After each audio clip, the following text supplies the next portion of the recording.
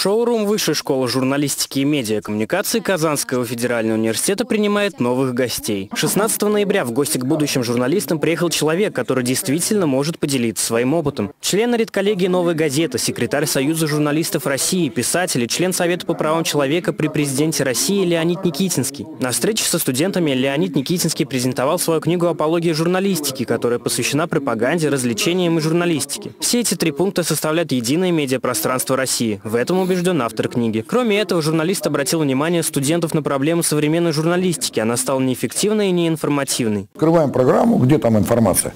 Хоккей, ток-шоу, но это еще можно так сяк там как-то к информации приплести. Сериал, викторина.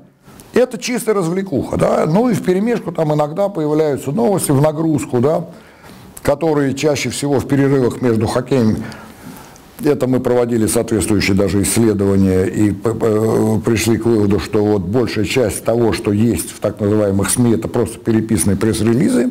Типа пришел, ушел, там приехал, открыл, закрыл, э, ну, может быть, еще что сказал.